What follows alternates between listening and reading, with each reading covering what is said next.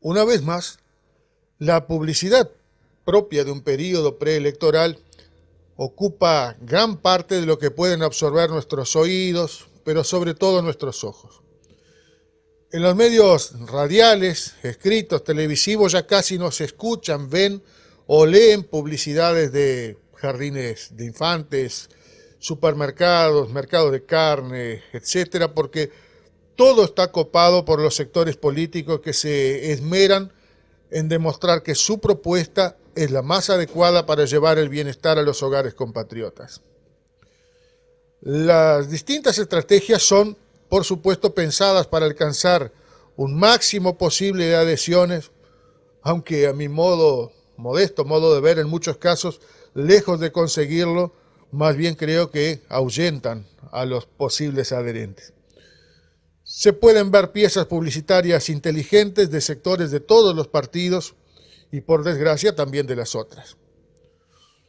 Hay también en todos los partidos agrupaciones que hacen un enorme sacrificio para poder presentarse al menos decorosamente a estas próximas elecciones, haciendo como se suele decir, de tripas corazones. No es sencillo para la mayoría de quienes estamos en esto enfrentar los gastos que representa imprimir o pintar cartelería, mantener una audición en alguna emisora, eh, salir por las noches cuando abandonamos nuestras tareas cotidianas a colgar algún que otro cartelito, pasacalles, bueno, y todo lo que conlleva la tarea preelectoral. Ahora, ¿es necesario decir que se trata de una pelea desigual? Ah, yo creo que sí es necesario. Cuando se advierte que el poderío logístico y mediático de una agrupación como la 2000 del Partido Colorado no se sustenta apenas con el aporte de sus dirigentes o simpatizantes, sino que se vale también de la estructura que posee la Intendencia Departamental de Rivera, creo que hay que decirlo. Hace ya un buen tiempo vengo diciendo que la propaganda oficial que pagan los contribuyentes hace proselitismo a favor del sector que hoy ostenta el gobierno departamental al decir textualmente, con resultados a la vista podemos atrevernos a más. Y no me equivoqué, pues en más de una ocasión, ahora ya en plena campaña electoral, he escuchado esa misma expresión en boca de actores representativos de la 2000 y confirmando entonces que valiéndose de la propaganda pagada con recursos municipales, se ha estado haciendo proselitismo partidario y sectorial. Se trata de apenas una ínfima muestra de lo que se nos viene. Y hace algunos días alguien me comentó que había visto personal de una división de la Intendencia utilizando vehículo oficial y vistiendo uniforme durante un fin de semana instalar luminarias frente a un local de ese sector. Llegué a pensar que se tratara de uno más de estos tantos comentarios que se suelen decir cuando se pretende eh, enlodar al adversario. Hasta que me pasó a mí. Eh, hasta que días después pude ver una situación similar con, con mis propios ojos.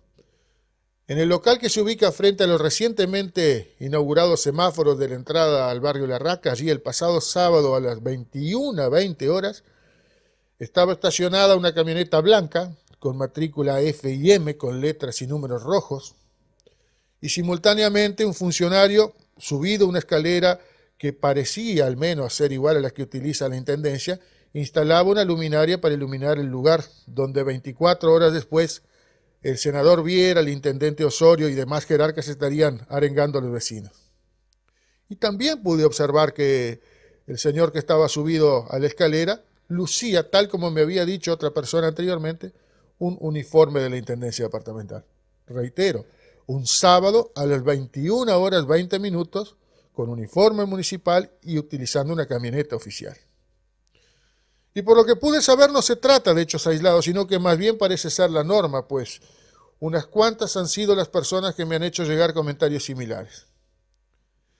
Si bien es cierto estamos en vísperas de elecciones internas y que por consiguiente en una primera instancia el lío de Colorados no debiera molestarme, es obvio que como integrante de esta sociedad sí me molesta, tengo el derecho de molestarme que se utilice la estructura de la Intendencia para hacer proselitismo sectorial y más que molestarme, me indigna pensar que esto mismo lo continúen haciendo en todo el largo calendario electoral que apenas está comenzando.